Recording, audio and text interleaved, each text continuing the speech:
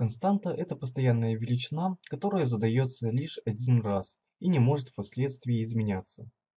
Она очень похожа чем-то на обычную переменную, которая определяется в самом начале программы, вот, но впоследствии ее нельзя присвоить никакому другому значению.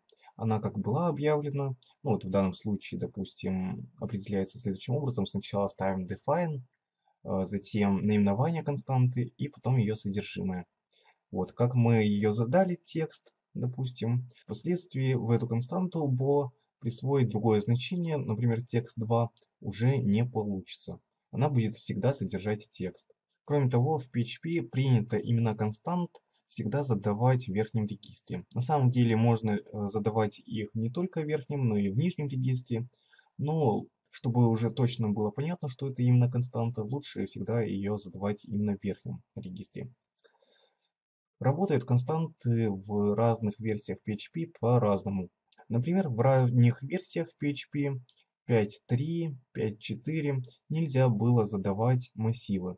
А в более поздних 5.6, наверное, я точно не помню, но все седьмые версии PHP там уже появилась такая возможность. И это касается не только массивов, но и многих других параметров.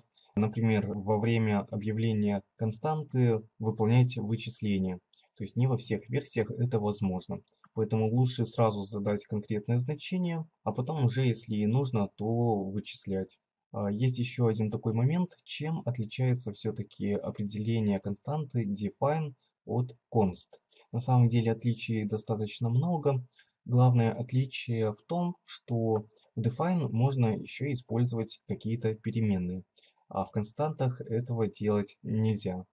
По крайней мере в ранних версиях PHP точно. Вот мы сейчас будем программировать на PHP 5.3. А, там можно только через define задавать переменные в константу. Какие еще типы можно использовать в константах? Ну, во-первых, это текст доступен, потом числа можно здесь же объявлять, булевые значения и так далее. В общем, все кроме массивов и объектов. Итак, давайте посмотрим, как они работают. Допустим, у меня в атоме есть какое-то число π. В математике оно равняется 3,14. Ну, это приблизительно, если округлить.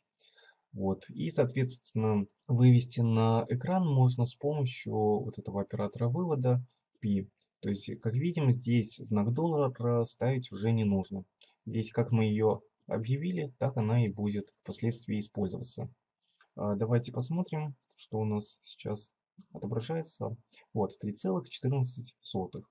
Можно к этой константе впоследствии добавлять свои выражения математические, либо объединять строки и так далее. Ну, допустим, сделаем π плюс 1. Это будет 4,14. Вот, 4,14. То есть с константами можно сделать все, что угодно, но впоследствии ее изменить уже нельзя будет. То есть вот это вот такое выражение задавать нельзя, просто выскочит ошибка. Вот, еще что можно сюда задавать? Чаще всего это какие-то данные для подключения сайта к базе данных. Эти данные никогда не меняются в процессе работы сайта. Вот. В крайнем случае программист сам может их изменить. Это в очень-очень редких случаях. Либо создать какую-то свою программу, которая бы изменила файл, где хранились бы константы.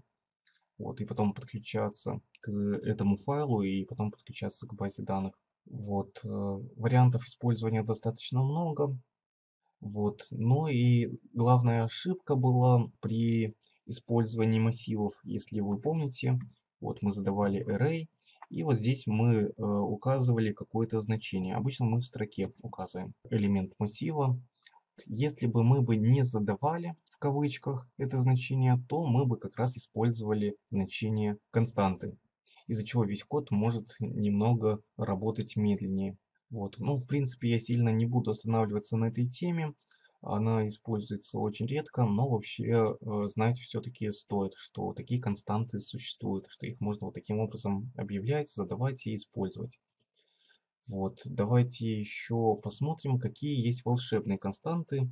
э, встроенные в PHP и которые задавать не стоит, но которые можно еще и использовать. А, во-первых, хочу сразу отметить, что есть э, два таких нижних подчеркивания. Задавать свои константы с двумя такими подчеркиваниями не рекомендуется, потому что если впоследствии в PHP введут свои константы, и они будут такими же, как и вами заданные, то в конце концов есть большая вероятность того, что ваши константы перестанут работать. Поэтому лучше использовать без двойных подчеркиваний ну, чтобы не было никаких пересечений с системными константами. Итак, есть текущий номер строки файла, в файле константа. А, давайте посмотрим, как она работает. А, можно просто вот здесь вот вывести эту константу лайны и посмотреть, что в итоге получится. Так, мы видим цифру 4. Если посмотрим на исходный код, то увидим, что мы вывели сейчас эту константу на четвертой строке. Если мы ее выведем пораньше, допустим, на второй строке, вот, обновим браузер и увидим, что отобразилась цифра 2. Ну, сейчас ошибка вылезла, что у меня header объявлен после того, как я отобразил информацию в браузер. Вот, по идее этого, конечно, делать нельзя. Вывод должен всегда идти после хедеров. Ну, вот так вот ошибок не будет. Если я ее перемещу ниже, то у меня отобразится тройка. Ошибка на тройке, на третьей строке. Допустим, можно сделать функцию написать. А, что еще есть из констант интересного? Ну, допустим, полный путь и имя текущего файла, в котором вызывается константа. Давайте тоже посмотрим. Файл. В принципе, это можно уже закомментировать, это нам тоже не понадобится. Так, вот э, мой полный путь к исполняемому файлу PHP. Эта константа возвращает полный путь, где я ее и указываю. Дальше есть константа dir, ну по сути то же самое, что и файл, только в конце не будет указываться index.php. Давайте посмотрим, как она работает. Вот видите, здесь index.php. Я обновляю браузер, и у меня теперь в конце будет только 3w, без слэша. Вот. И еще одну давайте рассмотрим функцию, имя функции. То есть, если мы сейчас ее здесь отобразим, то никаких изменений мы не увидим, потому что сейчас э, никакая функция не вызывается. Но давайте попробуем сейчас написать какую-нибудь небольшую функцию, неважно как она называется. Вот, и здесь мы ее как раз и выведем. Просто наименование этой функции. И вызовем вот здесь. То сейчас мы как раз и увидим наименование функции. Вот, fgh. Именно эту функцию я и вызвал. То есть где находится вот эта константа, там она и имеет свое значение. Вот, ну, на самом деле, если вы заметили, она как таковой не является константой. На самом деле это больше относится к переменам, потому что именно они умеют менять свои значения. Вот, а остальные константы, которые здесь заданы, вот мы про классы, про методы еще не проходили. Вот, это вас ожидает в будущем. Так что смотрите дальнейшие уроки.